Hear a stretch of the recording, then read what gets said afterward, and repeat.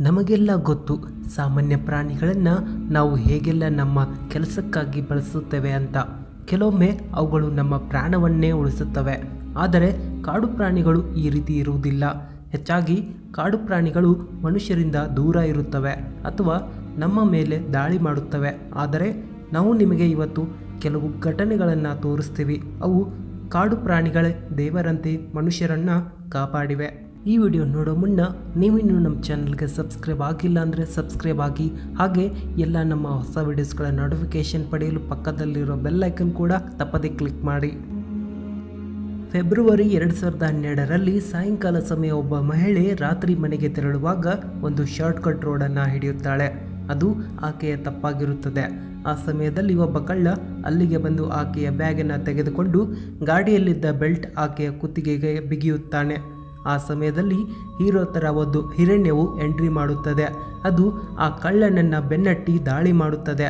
ಆ ಮಹಿಳೆ ಆಫೀಸರ್ಗೆ ತಿಳಿಸುತ್ತಾಳೆ, ಆತ ಏನು ಕದಿಯಲು ಸಾಧ್ಯವಾಗಿರಲಿಲ್ಲ. ಆತನನ್ನು ಆ ಹಿರಣ್ಯವು ಕೊಂದು ಹಾಕಿತ್ತು. ಇಪ್ಪತ್ತೈದು ಡಿಸೆಂಬರ್ ಎರಡು ಸಾವಿರನೇ ಇಸ್ವಿಯಲ್ಲಿ ಕ್ಯಾಲಿಫೋರ್ನಿಯಾದಲ್ಲಿ ಇರುವ ಕ್ಯಾವಿನ್ ಹೆನಿಸ್ ಅನ್ನುವ ವ್ಯಕ್ತಿ ಡಿಪ್ರೆಷನ್ಗೆ ಬಲಿಯಾಗಿದ್ದ. ಮತ್ತು ಗೋಲ್ಡನ್ ಗೇಟ್ ಬ್ರಿಡ್ಜ್ ತುದಿಯಲ್ಲಿ ನಿಂತುಕೊಂಡಿದ್ದ. ಅಲ್ಲಿ ಆತನ ಕಾಲು ಜಾರಿದ ಕಾರಣ ಆತ ನೀರಿನಲ್ಲಿ ಹೋಗಿ ಬಿದ್ದ. ಆತನಿಗೆ ಆ ಸಮಯದಲ್ಲಿ ತುಂಬಾ ಏಟಾಗಿತ್ತು. ಈ ಕಾರಣ ಮೇಲೆ ಬರಲು ಆತನಲ್ಲಿ ಶಕ್ತಿಯೂ ಇರಲಿಲ್ಲ. ಆ ಸಮಯದಲ್ಲಿ ದೇವರಂತೆ ಒಂದು ಸೀಲ್ ಮೀನು ಬಂದಿತು ಅದು ಆತನ ಕೆಳಗಡೆ ಬಂದು ಮೇಲಕ್ಕೆ ನೂಕುತ್ತಿತ್ತು. ಆತನನ್ನು ಕಾಪಾಡಲು ಯಾರಾದರೂ ಬರುವ ತನಕ ಆ ಮೀನು ಹಾಗೆ ಮೇಲಕ್ಕೆ ನೂಕುತ್ತಿತ್ತು. ಕೆವಿನ್ ಅವರು ಈಗಲೂ ಆ ಮೀನ ದೇವದೂತ ಅಂತ ನಂಬಿದ್ದಾರೆ. ಎರಡು ಸಾವಿರದ ನಾಲ್ಕನೇ ಇಸ್ವಿ ನ್ಯೂಜಿಲೆಂಡ್ನಲ್ಲಿ ರಾಬ್ ಮತ್ತು ಆತನ ಪರಿವಾರದವರು ಸಮುದ್ರದಲ್ಲಿ ಆಟವಾಡುತ್ತಿದ್ದರು. ಆಗ ಹಲವಾರು ಡಾಲ್ಫಿನ್ಸ್ ಅವರನ್ನು ಸುತ್ತುವರಿದವು. ರಾಬ್ಗೆ ತಿಳಿದಿತ್ತು, ಡಾಲ್ಫಿನ್ಸ್ ಆಕ್ರಮಣ ಮಾಡುವುದಿಲ್ಲ ಅಂತ.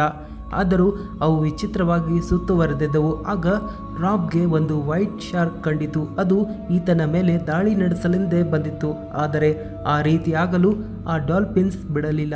ಆ ಶಾರ್ಕ್ ಮೀನ್ ಹೋಗುವ ತನಕ ಆ ಡಾಲ್ಫಿನ್ ಮೀನುಗಳು ಆತನನ್ನು ಸುತ್ತುವರೆದಿದ್ದವು. ಆತನ ದೃಷ್ಟಿಯಲ್ಲಿ ಆ ಡಾಲ್ಫಿನ್ಸ್ ದೇವರ ಸಮನಾಗಿದ್ದವು.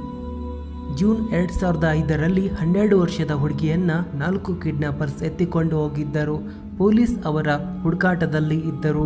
ಆ ಕಿಡ್ನಾಪರ್ಸ್ ಕಾಡುದಾರಿಯಲ್ಲಿ ಹೋಗಿ ಆಕೆಯನ್ನ ಸೇಲ್ ಮಾಡಲು ಪ್ಲಾನ್ ಮಾಡಿ ಆದರೆ ಅಲ್ಲಿ ಸಿಂಹಗಳ ಗುಂಪು ಅವರ ಕಣ್ಣಿಗೆ ಬಿದ್ದವು. ಆ ದಾರಿಯನ್ನು ತಡೆದವು. ಅವರು ತಮ್ಮ ಜೀವವನ್ನು ಉಳಿಸಿಕೊಳ್ಳುವುದಕ್ಕಾಗಿ ಆ ಹುಡುಗಿಯನ್ನು ಅಲ್ಲೇ ಬಿಟ್ಟು ಓಡಿದರು. ಆದರೆ ಆ ಹುಡುಗಿಯನ್ನು, ಆ ಸಿಂಹಗಳು ಏನೂ ಮಾಡಲಿಲ್ಲ.